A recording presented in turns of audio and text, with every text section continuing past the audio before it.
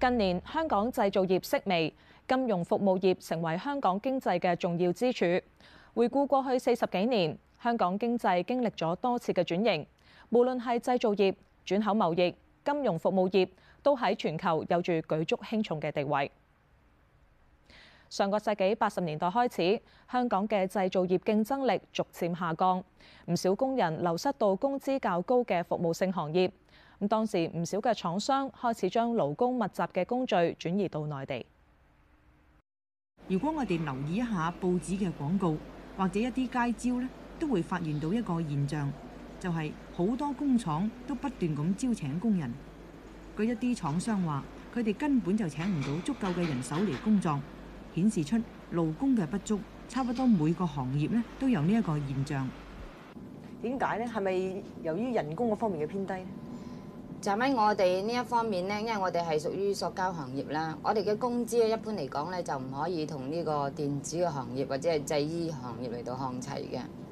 咁咧就一般嚟講咧，我哋嘅人工咧係比較偏低些少，就偏低嘅幅度咧大概咧係呢個十五個 percent 左右到。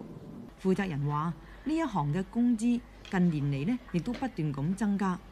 十年前工資只係佔成本嘅百分之十，而到咗今年呢，工資已經係佔咗成本嘅百分之二十啦。咁由於成本不斷咁增加，加上東南亞其他國家嘅競爭大，咁使到佢呢唔敢將貨品嘅售價提高，所以就唔可以出得更高嘅薪水嚟到招請工人。佢哋亦都只能夠尋求其他嘅途徑解決工人荒。一般嚟講係大嘅數量嘅訂單咧，我哋就申請咧入去內地咧，就以加工嘅誒性質咧，就俾佢哋工作。咁呢個情況多唔多咧？呢個情況咧就係越嚟越普遍啦。而家嚟講咧，喺香港嘅勞工短缺咧都幾嚴重㗎。由於咧就一般嗰個服務性嘅行業啦、金融機構啦。